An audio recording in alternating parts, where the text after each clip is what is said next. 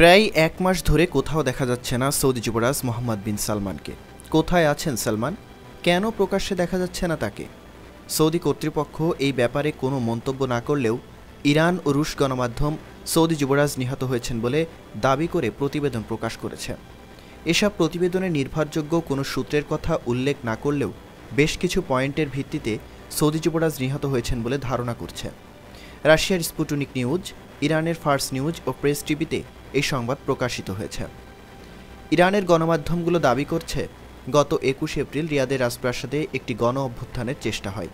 সেখানেই গোলাগুলি চলার সময় সৌদি প্রভাবশালী যুবরাজ সালমান নিহত হয়েছেন বলে ধারণা করা হচ্ছে।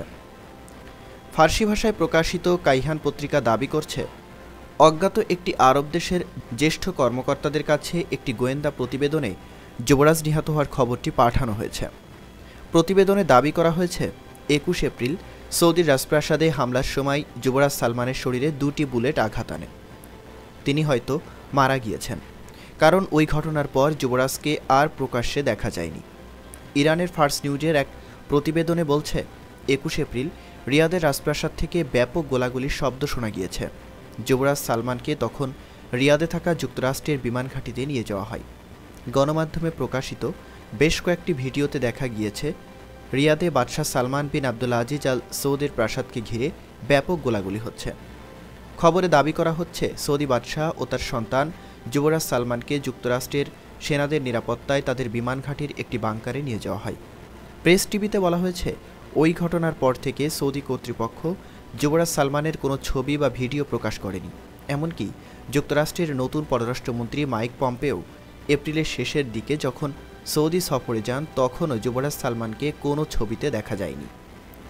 যদিও খবরে বলা হচ্ছে, যুবরাজ সালমান মার্কিন পররাষ্ট্রমন্ত্রীর সঙ্গে নৈশভোজে অংশ নিয়েছিলেন, কিন্তু সৌদির বাদশাহ সালমান বিন আবদুল আজিজ এবং পররাষ্ট্রমন্ত্রী আদেল আল জুবায়ের সঙ্গে মার্কিন পররাষ্ট্রমন্ত্রীর ছবি ছাড়া কোনো ছবি প্রকাশিত হয়নি।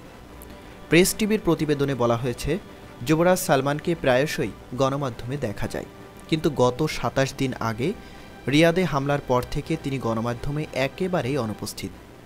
দীর্ঘদিন অদৃশ্য থাকায় যুবরাজ সালমানের পরিণতি নিয়ে শঙ্কা দেখা দিয়েছে। কিছু সূত্র দাবি করেছে, সৌদি রাজপরিবারের যেসব সদস্য বাদশাহ সালমানের বিরোধী, তারাই একুশে এপ্রিল হামলা চালিয়েছে। সৌদি কর্তৃপক্ষ এই ব্যাপারে এখনও কোনো মন্তব্য করেনি। বাইশ এপ্রিল আল জাজিরা ও বার্তা সংস্থা এএপির খবরে বলা হয় একুশ এপ্রিল রাতের অন্ধকারে সৌদি আরবের রাজপ্রাসাদ চত্বরে হঠাৎ গোলাগুলির ঘটনায় দেশটিতে অভ্যুত্থান চেষ্টা চলছে বলে গুঞ্জন ছড়িয়ে পড়ে। রাজপ্রাসাদের বাইরে গোলাগুলির একটি ভিডিও সামাজিক যোগাযোগ মাধ্যমে ভাইরাল হয়। বিকট গুলির শব্দ, নানা গুঞ্জনের জন্ম দেয়। পরে সৌদি আরবের নিরাপত্তা বাহিনী দাবি করেছে, গুলি করে একটি ড্রোন নামানো হয়েছে। ড্রোনটি খেলনা বলে চিহ্নিত করেছে তারা। আসলে এটি অভ্যুত্থান চেষ্টা ছিল নাকি এমন সম্ভাবনা ধামাচাপা দিতেই ড্রোনের নাটক সাজানো হয়েছে তা নিয়ে প্রশ্ন উঠেছে দেশটির বিভিন্ন মহলে। শুধু সৌদি আরবেই নয়, সারা বিশ্বেই এই ঘটনাকে অভ্যুত্থান ষড়যন্ত্রের অংশ বলে ধারণা করা হচ্ছে।